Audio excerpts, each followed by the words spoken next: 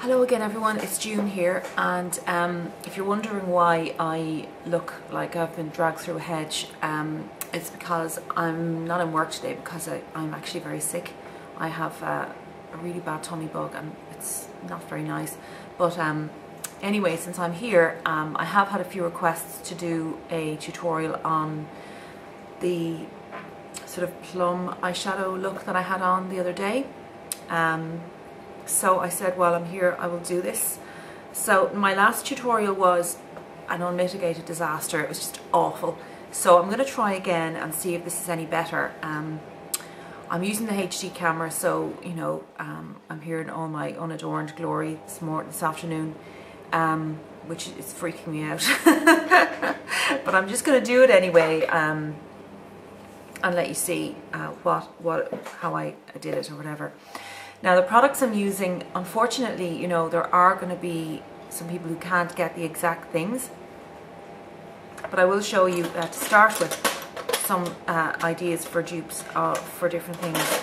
Um, the first thing I'm using is the Illamasqua um, cream pigment in Delirium. Now I don't know if there's a dupe for that. I actually doubt that there is, unless there's is there a paint pot in that sort of matte pink? I don't think so. Um, I've never seen one, but who knows. So that's that one. Unfortunately, I don't think there's a dupe for that. Um, the other thing then is the Accessorize eyeshadow in Cocoa, which is one of their merged eyeshadows. Now this, um, I looked through all my MAC eyeshadows and I came up with this one. Um, where is it now? It's here somewhere. I think it's this one here. No, is it? Yeah. Sorry about this, guys. a bit disorganized today. I think it's, no, it's not that one. Oh, sorry, guys. It's terrible. Um, yeah, it's this eyeshadow here,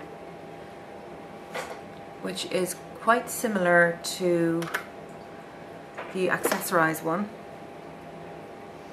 See, they're, they're quite similar um, now, this is the point at which you just turn off and go, this girl's channel is a waste of space. Um, the actual eyeshadow that I have uh, doesn't actually have the name on the back of it because it was one of the early ones I depotted and I had a disaster with um, a disaster with uh, labels and stuff. So I am wondering, I'm not sure, is that Twinks? It could be. Um, that there it is anyway and you know if you do have some MAC eyeshadows you might be able to tell me what you think that might be um, but it's very close dupe anyway so it is it is uh, something that is dupable anyway and it's just a kind of a plum brown anyhow so um, then the eyeliner is this new ID Cosmetics eyeliner trio and here it is here and I'm going to be using this one here which is called Indigo although it's it's aubergine really. Um, now you can get a couple of dupes for this colour. Firstly the uh, e.l.f. cream eyeliner in plum purple is a very similar shade. And also um, I have one here called Plumkin which I got from oh god I think it's like one of these generic eyeliners that you can get um, loads of different sites will sell them like Coastal Scents and things like that uh, so they are very, very available and I'm sure MAC has one as well, which I just don't have. So anyway, without further ado, I'm just going to go on and do this and see if I can reproduce the makeup I had on the other day. So hopefully you won't see my, um, my mirror too much because the last time I tried to film a tutorial, all that you could see was the back of my mirror, which wasn't very good. So I'm just priming my eye at the moment. I'm using Benefit's FYI primer, which is actually discontinued now, which is very sad, but I'm just using up this, this one. I already have a little bit of concealer on and um, that's really all I have on at the moment on my face. So there you go, so that's that. Um, now, so the first thing, I always, I do like to use a primer under these cream pigments because they do, they say they're crease resistant um, but they will crease after a few hours, uh, particularly if your eyes are deep set, like mine, I do have quite a deep crease here. So they do definitely crease, so I would say, look, put a primer underneath and um, set with a powder eyeshadow if you want it to last a bit longer. So I'm taking a Louise Young brush. This is the LY39, which is just a very nice um, sort of flat shading brush. Okay, I'm using that and I'm just gonna, sorry, butterfingers. I'm just gonna take some of that eyeshadow, some of that cream pigment, I should say, and I'm just gonna pop it all over the lid of my eye like that, just up to the crease and blending it a little out the side. It's not, it's, it's a very natural shade. I really love this colour for my skin tone, which is sort of a light skin tone with kind of blue undertones almost. Um, really, really, really nice. So I'm just kind of going to soften the edge of that there. I'm doing this super quick because I don't want this to take forever. So here we go again. I'm just going to apply that. They blend really nicely with the brush actually, or with your fingers, but they're actually really quite easy to um, use with, with the brush. So you see I've, I've brought that quite I've brought that quite high over the crease. I'm bringing it sort of almost three quarters of the way up the eye um, so that the colour will show above the dark eyeshadow.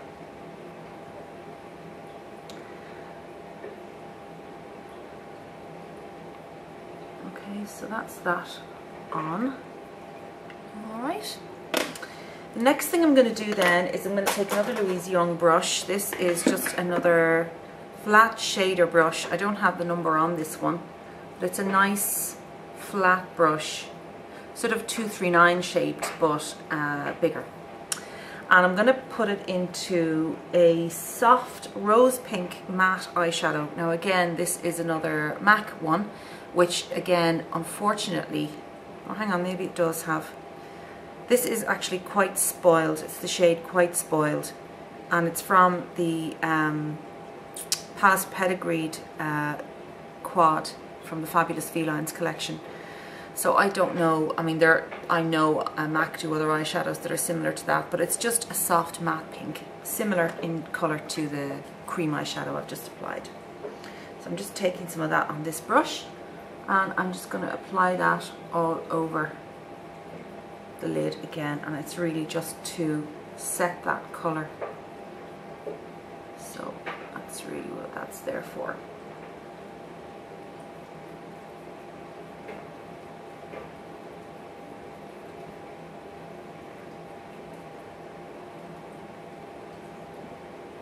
Okay so don't don't spare the powder eyeshadow here um, First time I did this look, I didn't actually do this step. And I did regret it later because I did get a fair bit of creasing after. So I said no I think a powder eyeshadow on top. So there we are. So so far it's not really looking very dramatic. Um, it's a very natural thing very natural look um, so far. Now the next step is again I am reaching for another of my Louise Young brushes and this is another one which doesn't have a number on it but it's just a round kind of crease brush it's a fairly big one. So depending on the size of your eye, you might want to use a smaller crease brush. And I'm going to go into this Accessorize eyeshadow. This is a merged eyeshadow in Cocoa, as I've mentioned already. Um, and it's just a kind of a plum colour. So I'm going to take a good bit of that on the brush and I'm just taking it into the outer corner here, outer V, It's a very nice eyeshadow, very blendable, very soft. And you can get this from the accessorize.co.uk website. They deliver all over Europe as far as I'm aware. There is a USA shop based shop as well for Accessorize but they don't sell the cosmetics so unfortunately. So as you see now I'm bringing that into the crease and just swiping it along the crease on the outer V like that.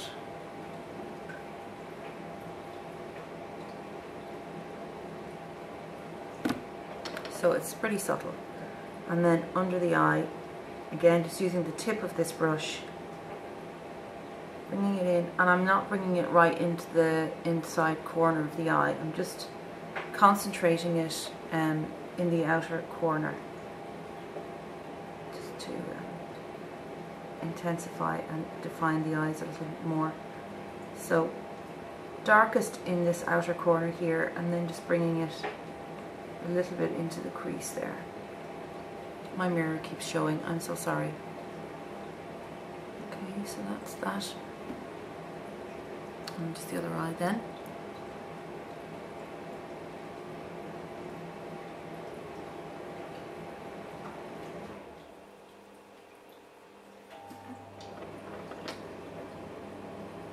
Those eyeshadows are huge. There's two grams of product I think in each one, so they're pretty big. They'll last you a long, long time. Okay. So under the eye now. So it's fairly smudgy under the eye. I'm not going for anything too heavy or intense looking because I'm going to put some eyeliner in now.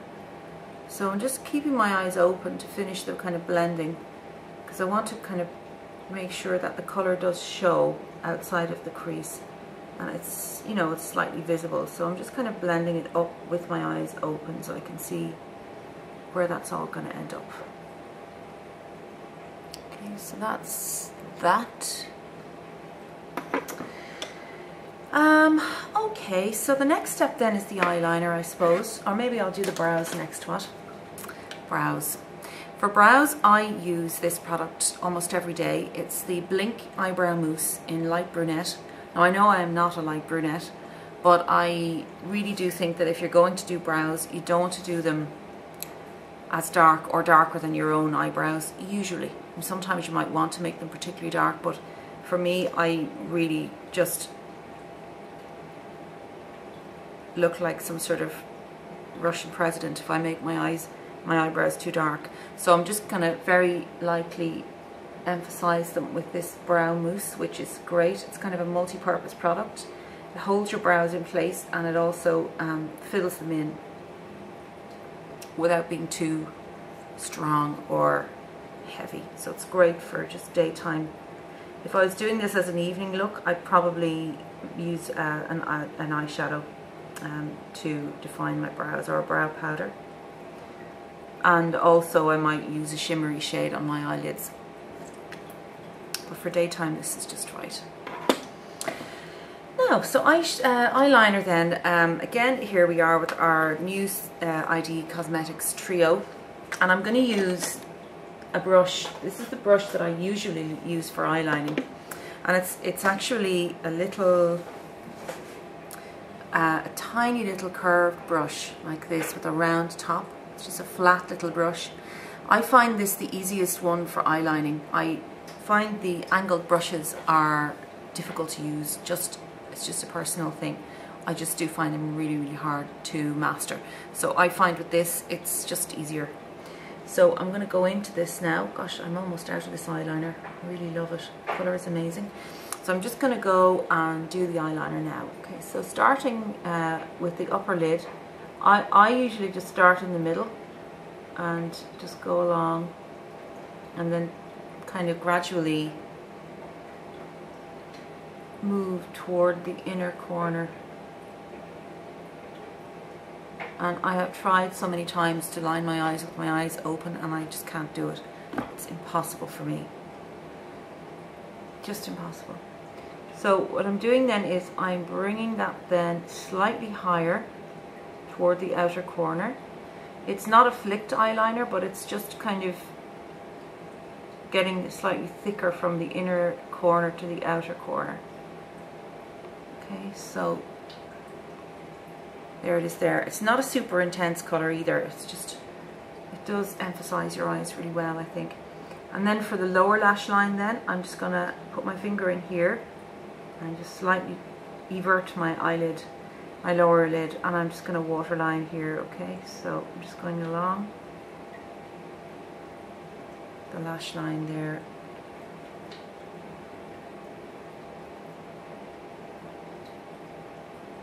And again, for me, I find with my eye shape, I tend not to go right into the inner corner because it just closes my eyes too much. Um, very seldom do I actually line right into the inner corner. I just find it's, it's unflattering for me. So I'm just going to load a good bit of eyeliner onto the waterline there. And then I'm just bringing a little bit out along the lower lash line as well. Sorry about the mirror guys. I'm really really bad at this.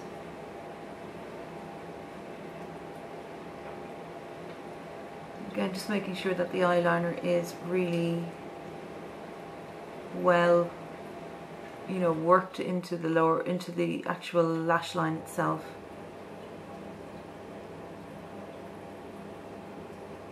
And that there are no gaps. So that's the eyeliner applied. I don't know if you can see that it makes a difference. So I'm going to do the other eye now.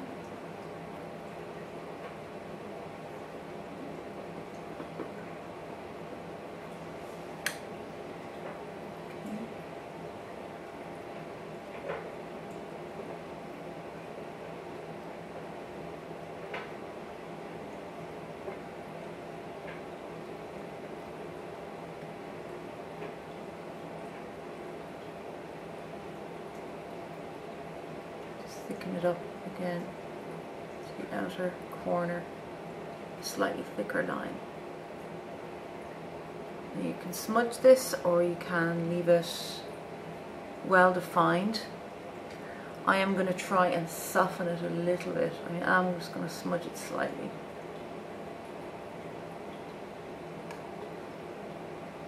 And that's all I do to soften my eyeliner. I just dab it with my finger and it softens the edge just a little bit. Not a whole lot.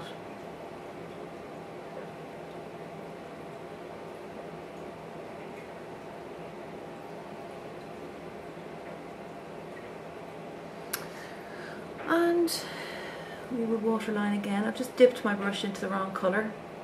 So that's clever. Not to worry. You know exactly what I'm doing even if I don't.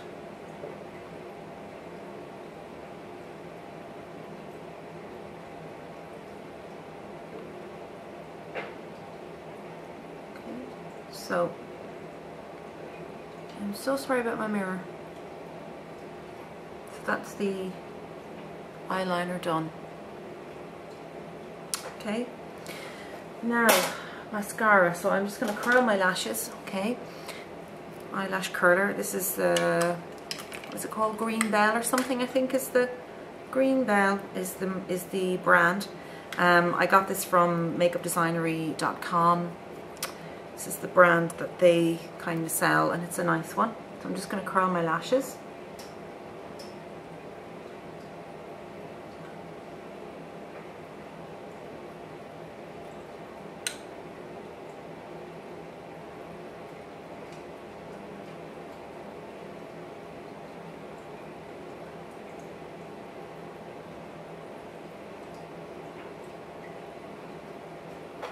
And one thing I did forget to do actually, I told you I was crap at this, um, was to put on a highlight, brow, brow bone highlighter. Now, often for everyday wear, I just put some translucent powder up under the eye. I don't go crazy with highlighter. But what I'll do for this purpose of this tutorial is I'm going to use a little bit of Gesso, which is just a matte white eyeshadow from MAC. And I'm just going to tap on a little bit of that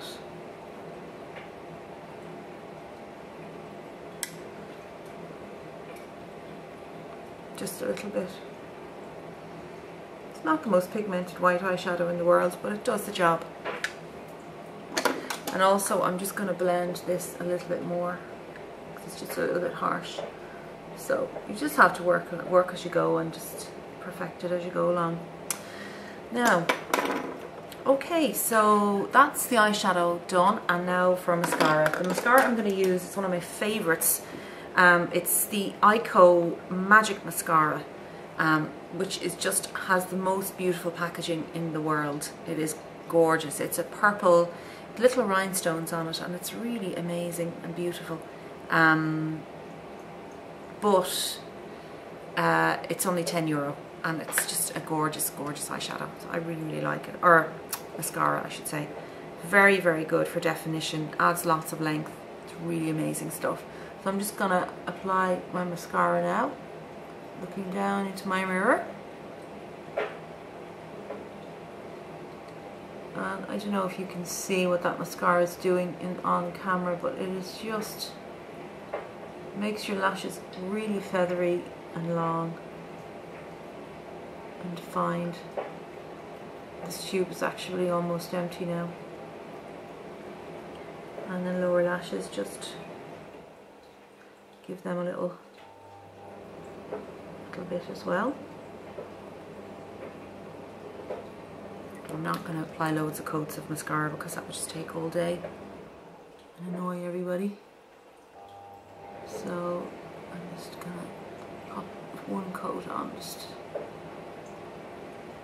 whatever mascara you like to use yourself, obviously. So there we go, that's that. So that's the eyes done. Now blush, blush I used that day. I actually used um, the Illamasqua cream pigment in the Delirium colour as a blush and it works extremely well. So I'm just going to use it and, and I'm just literally applying it with my fingers. So just getting my finger in there um, and just applying it to just the top of my cheekbone and a little bit down into the hollow of the cheek and sweeping it backwards. I always just apply blush just kind of maybe a third under my eye, never way in here because that will just put years on you. You will age yourself if you put blush right under here. Keep it to the outside where it has a more contouring effect. And never ever smile. But that's my rule. But if you like smiling, smile away.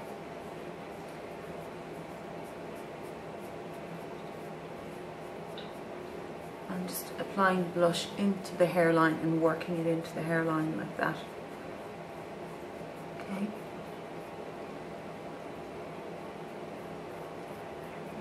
That is going to just give a nice definition and it's just a really nice it's a really nice colour. So that's really it. Um, if you want to, you could put a little bit of powder blusher over that if you want to make it last a bit longer. And I think that this one here, which is MAC's Breath of Plum, is actually quite a close colour to the Delirium colour. So I'll just throw that on as well. I'm just going to use a Hakuhodo blush brush. And it just, it does complement that colour quite, quite well. And this is a sheer tone blush, so it's not too heavy. So that's it.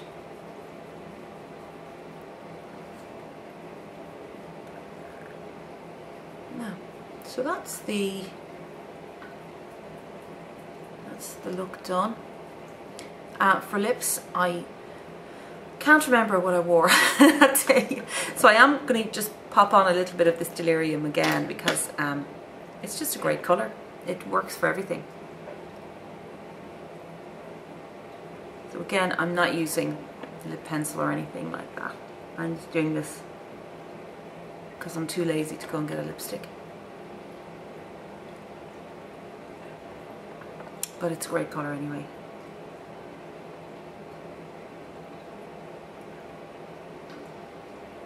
So there you go. That sort of finishes it off. Um, that's the look. Um, this is just a big red bit on my cheek, which I should have concealed, but I don't know why that's there. Maybe it's just when you're sick, everything looks awful. So that's the look, that's it. Um, I hope you enjoyed this tutorial. I hope it was a little bit better than my last one. Um, and uh, yeah, so that's it. If you have any questions, give me a shout. Um, I will have some other videos on the way. I do have to do my nail polish collection because I did promise I would do that and some people are kind of excited to see it. So I'll do that and um, I do have a little a little few products I bought the other day when I was shopping for Deb in Dublin, and um, I um, was I had a big party for my birthday uh, last weekend, and I got a lot of amazing gifts, vouchers, and whatever. So I will be going on a major um, haul frenzy in the next while. So expect more videos of, of that type um, from me. That's really it. Um, I hope I'll be better tomorrow so I can go back to work. And uh, if anyone wants to ask me for any more tutorials or anything like that, please do. I will talk to you all soon. And uh, yeah, take care. So, bye-bye.